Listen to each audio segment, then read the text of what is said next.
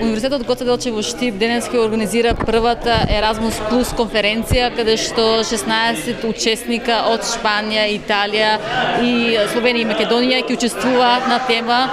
вработување на младите како да ги развијат своите меки вештини и што значи тоа бизнис план и како тие можат да бидат значи на пазар на трудот со своите вештини се подобри и подобри. Ваков тип на проект на проект се организира прв пат овде и еве во наредните три дена заедно со нив ќе работиме токму на вештините кои што ви ги спомнав,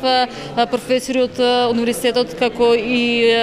професори и предавачи од Италија, Шпанија и Словенија се овде со нас и заедно ќе работиме токму на тие вештини и се надеваме дека во един ваков тип на проект ќе организираме се почесто бидејќи веруваме дека без младите и без нивното учество во креирањето на планови и стратегии, ваквите настани нема да може да бидат организирани и би додала дека на крајот од овој проект ќе биде подготвен извештај со сите препораки токму од младите и од студентите кои што директно ќе се достави до Европската комисија каде што ќе разговараме за тоа што е потребно за младите, како може да придонесеме за нашите млади да трагат по својата среќа овде во државата и пред се во Европа и како можат да се мотивираат самите со помош од локалните власт, од централната власт, како и со помош на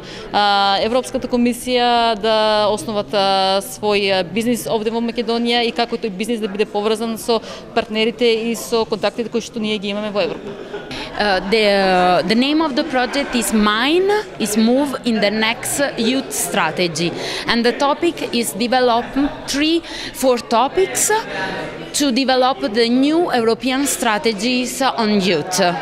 the first meeting was in Italy, and the topic uh, will, was connected with uh, culture because also this year is European uh, is European Year on the culture. The second meeting was in Slovenia, and the topic was was social media. And now we are in Macedonia, and the topic is entrepreneurship and the last meeting uh, will be in Spain uh, and uh, we will discuss on immigration and how the people, migrant people can connect with the local community. And at the end of the project, we produce the booklet, the final booklet, with all suggestions on all topics. Uh, we are very happy to be part of this project. We think it's very important that uh, municipalities and the key stakeholders can uh, exchange different good practices for different countries and different municipalities.